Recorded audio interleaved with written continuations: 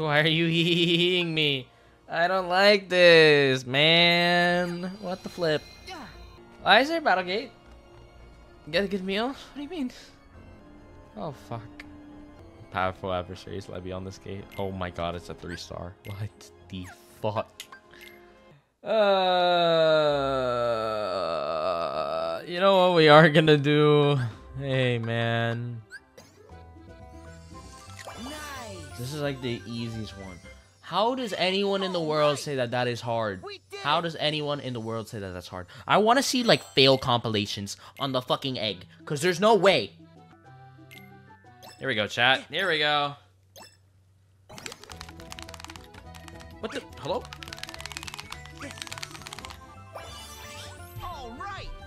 It's time to see what this Battlegate 14 is all about. Secret boss? Who knows? What is that? I want to see your moves. Ooh, okay. Okay. Whenever he does that, I just gotta be able to hold up my guard. Oh, my second chance is already used. That's not good. I like how he's trying to just attack me in the Oh, that's funny as shit, dude. Called it. Oh, dude, do you see how much this reprisal boost is? Holy crap. Oh, damn. Oh, he went for that back-to-back. -back. Ooh, shit, nice. Oh, Lord. Um, give me my ultimates. Just so I could heal, or that's not gonna heal me. I'm gonna have to. I thought he was gonna go for an attack straight away. Oh, he doesn't go away here? Ooh, that's not good. Oh, you're dead. You're dead. No!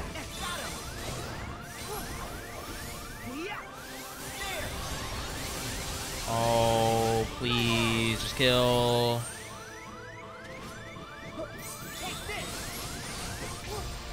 Got him! Okay. Third try. All secret reports. All right, let's go. Recollections in my life. I woke in a cell alone until the researchers came with their test and their prodding to uncover my identity. I had no answer to offer them. Four friends and a key. That is the sum total of my memory. I, call, uh, I cannot even recall my name. I was simply called X there. My only solace was the time I spent talking with the two boys who would visit from time to time. One day a man came to take me from the prison. I cannot see him for the darkness. For the darkness. Save that he wore an patch. So I'm guessing this is Xigbar from what we know so far. Even now, years on, I feel no closer to understanding who or what I am. May my heart be my guiding key. Um, Mark of Mastery Journal. So that one was called Recollections. This one's called Mark of Mastery. Alright, some days have passed since I set off on my journey to prepare for the Mark of Mastery examination. Eric has asked for me to undertake the same pilgrimage, but apparently I am to be first to tour the worlds within written of in the old fairy tales. Eraqus. Until a few short years ago, I only my own I'd known only my own world. A speck of land surrounded by sea, but how I dreamed of yearned for the world beyond and granted guidance from the future. I left that nest behind as I treaded the path to my master's side. I came in contact with darkness in many forms. I knew even then, as my instinct, terrifying as its power was, it could be harnessed. Let me not see, I saw next. It could be harnessed, mastered. Eraqus is a blue-blooded descended from the very first masters in the Age of Fairy Tales, but I did not come as far to indulge in adulation. I will be his peer, his equal, and to do that, I must learn to wield the power born from both darkness and light in proper balance. Xehanort. Damn. Yeah, I'm getting lore. So the man with the eye patch, that's Xigbar, aka Luxu, and may and may my heart may my heart be my guiding key, originated as a master of masters for H, huh? Oh, that's true. That's true, true, true. Experiments of the heart, notes on subject X, excerpt, excerpt 1. Subject was found in the central square shortly after dawn. Female, approximately 15 years old. After seven days observation, she spoke her first words but cannot provide a name. Subject exhibits signs of profound amnesia and displays concern about which world this is. Her words suggest that she departed her home world with others. Though she cannot recall the names of her erstwhile companions, all efforts to restore or to explore those memories have met with a rejection response. After his initial experiments on me, Ansem the Wise sees his research into the heart. His hand stayed by some fear I cannot fathom, yet this new subject is like me, devoid of memories. She's the perfect sample upon which to continue my master's work. She too could benefit, benefit from it. By traversing the heart, we have a direct path into memory. I myself have begun to reclaim my lost past thanks to these very experiments. Who is she? Whence has she come? These are questions no scientist could ignore, and the words she muttered, may your heart be your guiding key. Ava was, or Ava, sorry. Ava didn't show up at the end, so Purple literally sent me a meme as, where is Ava? Could this be Ava? I don't know. Research I have compiled. Worse still, he ordered the release of my remaining subjects. She's gone. Where's Subject X now? has wise Master Ansem hidden her away? Whatever the case, I will not be deterred. I will take her place as the first subject in the grand experiment to come. So, uh, we actually know who's writing these now, which is kind of cool. Memoirs. Excerpt 1. We just finished Experiments of the Heart. One, that castle was a wonderland to a Trojan. Uh, within its walls, Ansem the Wise conducted his research, and the fruits it bore allowed everyone outside to live in peace and happiness. That alone was enough to stoke our interest. Though not all of the rumors that escaped its walls were so benevolent, by night the muffled sounds of human wails emerged. There was talk of dangers human experimentation. Lea and I couldn't help but hatch a plot to steal inside and sate our curiosity. Is this going back to like Dream Drop Distance? Because we saw Lea, and I'm guessing this is Saïx who's, or Isa, who's writing this. The two who stood guard at the gates were researchers themselves, though you wouldn't think it to see them, think it to see them. Massive and barrel-chested as they were, and slipping past that duo was only the first hurdle. It proved one not only not easily cleared. We were found and tossed out on our ears time and again. Time and again. Okay, I, I thought it was say time and time. On the day we finally secured our entry, we descended the long spiral stair at the heart of the castle to find a dark space below it, lined with cages. There wasn't light enough to see if they were inhabited, and we were in no position to call out to any occupants within. Um, yeah, we, yeah, we could feel it. A definite presence there in the black. Terror washed over us, and we immediately regretted coming. But just as we turned to flee, we heard the faintest of voices. The urge to run was nigh overpowering, but someone or something beckoned us on. Oh, someone There, framed by a tenuous sliver of light, we found her. Why am I forgetting her name? Um, Strelitzia? Is that Str- uh, Strelitzia? Maybe I don't know. Our memoirs excerpt two. Um, it was too late to make out her features. We spoke to her in hushed whispers. Who was she? Why was she in prison? Here, she had no answers for us. Had no memories at all. She was an enigma. But I knew I wanted to help her, and so we continued our infiltration. And also, sorry, I forgot to say that. So, and so we continued our infiltrations. Most of them stopped short at the, at the castle gates. When we did manage our way inside, we spoke with her. That was all the comfort two children like us could offer. But Lea had other ideas. He was determined to free her. We slipped into the castle that day. Okay, it's the same person. That day, knowing only that we wanted with all our hearts to save her. But we did not find her inside on that day or the next or any of our subsequent visits. Had, had she been moved? Had, she, had we simply imagined her? Lea and I knew there was only one way to be certain. And so we stand before the castle gates today, not as trespassing children, but in order to become Ansem the Wise's newest apprentices Isa. So as you see, uh, Three's reports are not just Ansem's or Xehanort's, but a variety. I like it. I like it. On the replica program and reanimation, following my erasure and my recompletion as a human, I did not awaken right away. Perhaps the damage was exceptionally grave. Even after waking, I remained in bed, pondering my next course of action. In my work on the replica program for the organization, I produced some 20, uh, 20 vessels. Holy shit.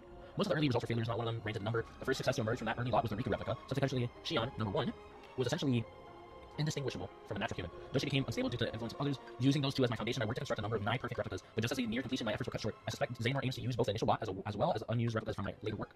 I rose today and decided to walk out to the square, my first outing in some time, yet my stroll was interrupted when a surprising visitor appeared with an unexpected offer. No younger than me, he'd risen to become Xemnas's right hand. I accepted his terms and became a nobody once more, easy to gain access to the old replica program that way, whatever it takes to own. Vexen. Oh, okay. I didn't know if it was Saïx or not, because they talked about them becoming apprentices. But that's cool. Name all 20? What do you mean name all 20? There's like fucking 13 Xehanorts. And some of them failed. I don't know.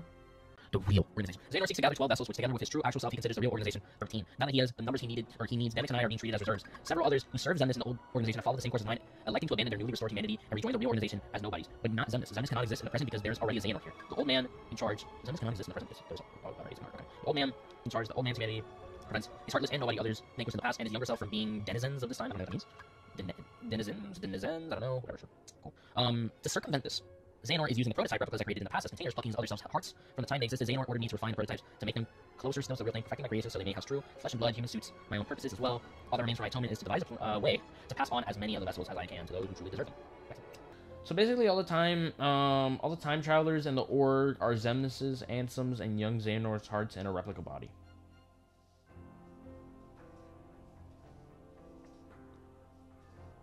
Oh, that's okay.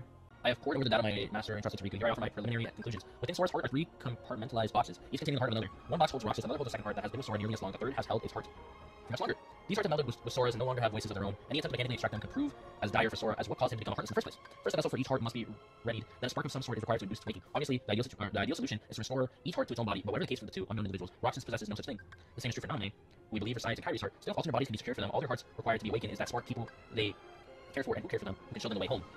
Complete and perfect digitalization of the heart is impossible. We can only hope to partially reconstruct it. Thus, I see no way forward but to extract the hearts we so desperately need directly from within Sora. Fortunately, the data stored in Twilight Town contains a near perfect record of the memories of those who lived there, and, and for Roxas and Naminé especially the conspectus. Oh, conspectus. Oh, it's like the beginning thing. Ansem code conspectus. I'm gonna search that word up. What does that word mean? A summary or overview of a subject. Um, Ansem code conspectus excerpt two.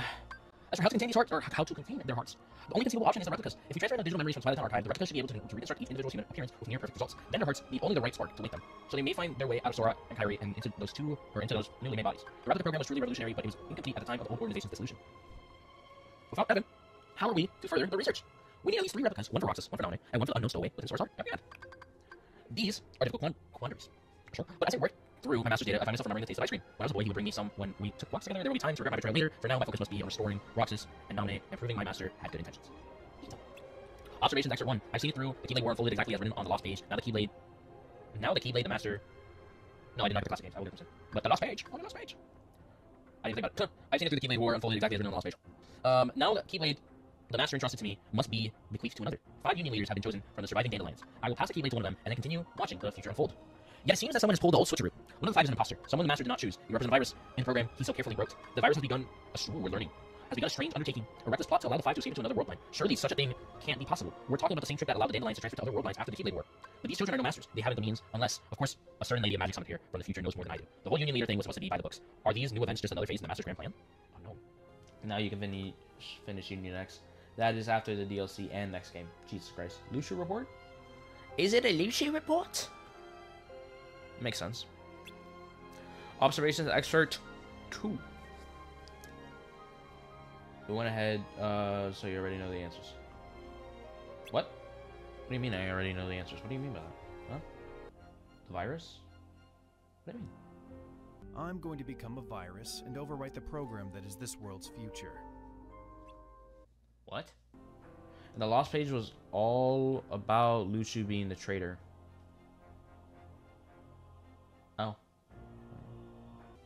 Ven is the one that shouldn't have been chosen. Yeah, I know Ven is the one that shouldn't have been chosen. So he's like the virus. I'm guessing. Uh, I'm bad. I'm forgetting. I have bad memory. So Lucio's the virus. Wait, so Mickey is that? Um, Even on a world line with no Keyblade War, peace is but a dream. In the absence of us and our master, a darkness arrived, one that shall surely lead the world to yet another demise. Amid the chaos, I bequeath my Keyblade to one of the Union leaders, just as the master instructed. I watched as the five were sent to another world line at no small cost. Sorry. Ensuring the line of Keyblade wielders will live on, and now Keyblade lists, I must depart this land to fulfill my final task. This means casting my own body aside and sojourning my part in vessel after vessel, as many as it takes. But I will continue gazing upon each passing era, one unto the next. In time, be it years or decades, centuries or millennia, I will meet the five once more. Somewhere in this cyclical history of bequeathings, a chosen one will appear and reunite the Keyblade War. When the scapegoat arrives and takes my Keyblade in hand, that will be the, be the time to take the stage and finish my role. The Lost Masters will be awakened. Excerpt 3. It seems this body, this name will be my last. The lives I have lived over the ages could fill volumes, but for now I must focus on what matters most. The Keyblade has been successfully passed down generation to generation, and it seems the Keyblade Master devoted to darkness may finally arise. Until now, I have watched over the course of events from a distance. Perhaps the time has come to intervene. I need only play the role of a fool, the serious of the Keyblade power. I will don the mask of his ally in order to keep watch over my Keyblade from close by. The gazing eye, a Keyblade force from the eye of the Master of Masters. He passed it to me, as I have to others, and through it he can see the future, all that will ever come to pass. Spanning the ages in body, after body, life after life, my task has been to keep vigil over the eye as it passes from hand to hand. It has been a long time, longer than I can express, but now, at last, the Keyblade War has begun, and Kingdom Hearts will open a true and complete Kingdom Hearts, born of the clash between darkness and light. I will soon be reunited with my old companions, and in that moment, my long vigil will reach its end. he will return. Well, that's all the secret reports. We finally read them. Lore is done. So you have come this far, and still you understand nothing.